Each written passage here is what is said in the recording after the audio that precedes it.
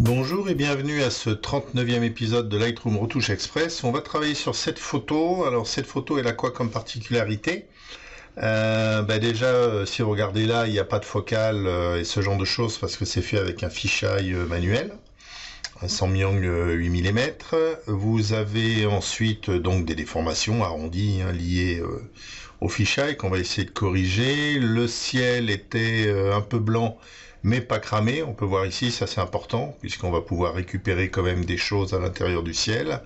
Et euh, il y a cette enfilade là euh, qui arrive à la coupole. Alors je crois que c'est l'hôpital de Grave euh, à Toulouse. C'est un, dôme qu'on voit de loin. Mais euh, je me suis dit, tiens, je vais aller voir euh, comment il est de l'autre côté. Et donc, je suis rentré dans cet hôpital qui a l'air un peu abandonné. Et euh, bah, j'ai fait cette photo.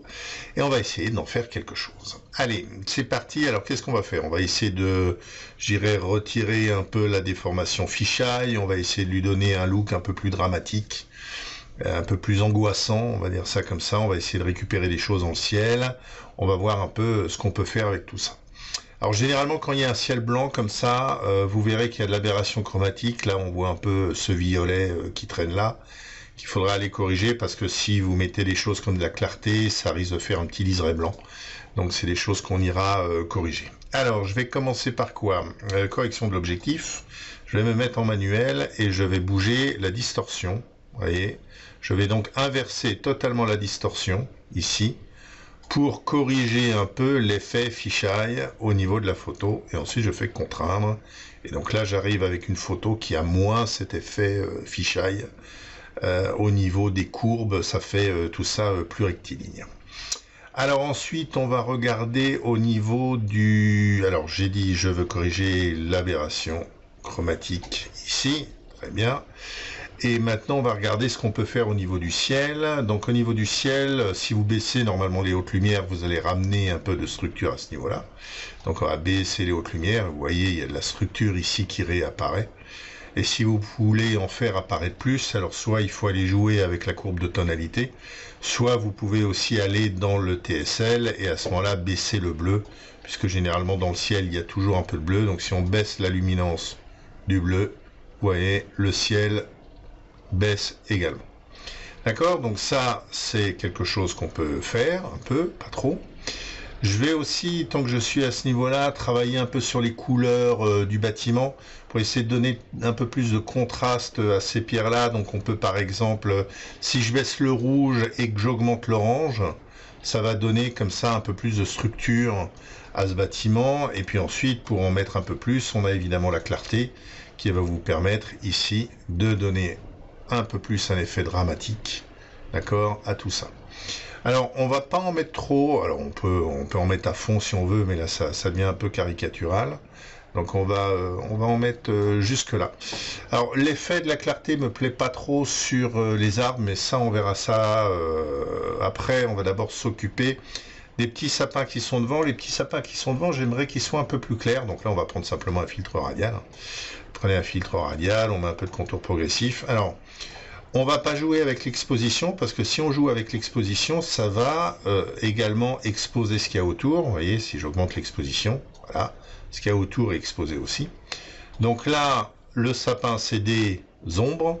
Et ce qu'on a ici à l'extérieur, c'est plutôt euh, des tons clairs. Donc il suffit de monter les ombres, d'accord? Ça fait quelque chose de beaucoup plus léger. Et ensuite d'adapter évidemment clic droit sur euh, l'épingle, dupliquer, je vais aller mettre ça sur mon deuxième sapin et je vais évidemment ce coup-ci réduire la taille là pour que ça fasse mon deuxième sapin. Au niveau des arbres, ici aussi, c'est un peu, c'est un peu sombre. Donc pareil, là, je vais le dupliquer, je vais aller le mettre là au niveau des arbres. Et là, au niveau des arbres, on voit que la clarté dans les feuilles a fait quelque chose d'assez dur. Donc euh, là, ce que je vais faire, je vais inverser un peu la clarté pour rendre à nouveau l'arbre un peu plus euh, doux. Vous voyez, si on met la clarté, ça fait quelque chose de très dur dans les feuilles, là, ça fait des petits points. Donc là, je vais plutôt inverser un peu la clarté pour redonner un peu de douceur au niveau de l'arbre, surtout en haut, là, où ça faisait des choses pas très jolies. Je duplique à nouveau ça. Je vais le mettre ici au niveau de cet arbre-là. Voilà. Pour qu'il soit un peu plus clair. Très bien.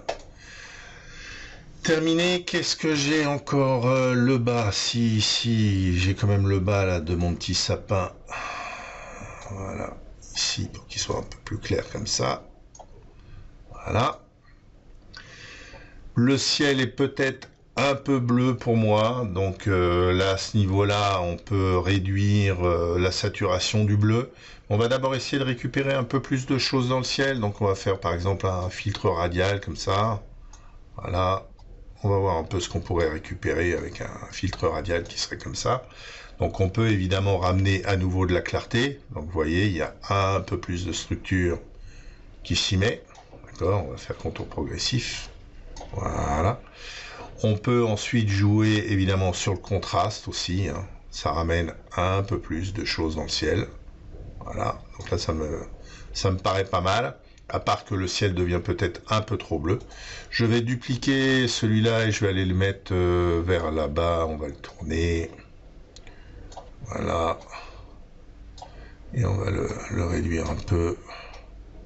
Et l'orienter un peu vers là-haut, comme ça. Voilà. Alors là, c'est peut-être un peu trop. Donc je vais baisser un peu le contraste. Voilà. Quelque chose comme ça. Euh, ça me va pas mal. Ensuite, je disais euh, saturation du bleu, surtout que j'aimerais que ça pète un peu plus au niveau euh, du bâtiment. Donc je vais mettre un peu plus de vibrance au niveau du bâtiment. Et donc à ce moment-là, le ciel devient vraiment trop bleu pour moi. Donc je vais retourner dans le TSL ici. Et au niveau du TSL ici, je vais monter un peu l'orange. J'aimerais que le bâtiment soit quand même un peu plus clair, vous comme ça.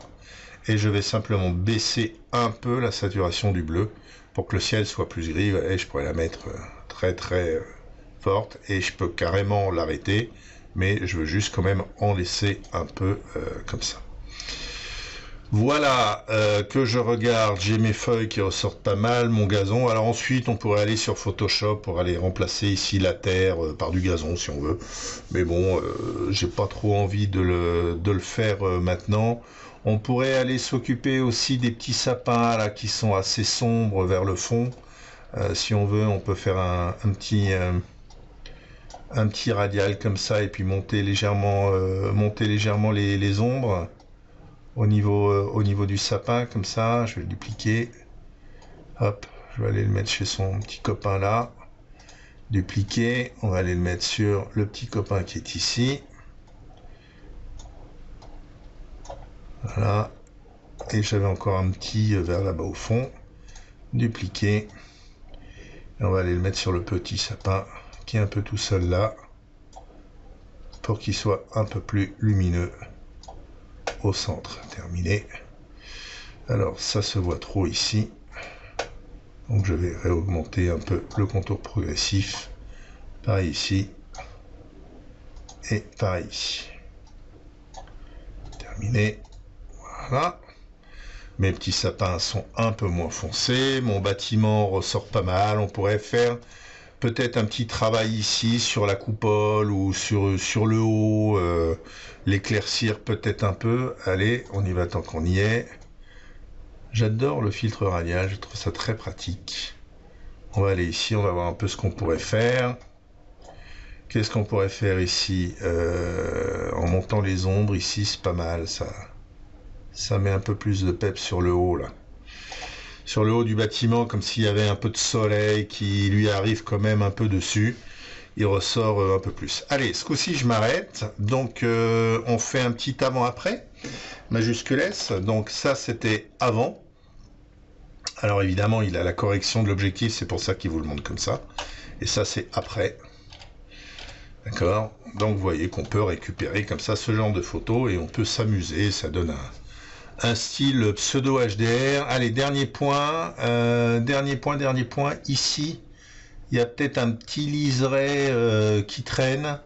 Alors si on veut l'atténuer, on va prendre ici le pinceau de retouche et on va euh, y aller doucement comme ça, avec une petite brosse, là comme ça. Et là, on va simplement baisser la clarté. Vous voyez, si je baisse la clarté, je, si j'augmente, on voit que ce petit liseré augmente et si je baisse un peu ce petit liseré il disparaît et je vais faire la même chose ici de ce côté là voilà Allez, ce coup-ci, j'arrête vraiment. J'espère que ça vous a plu, que ça vous donnera des idées. Merci, au revoir.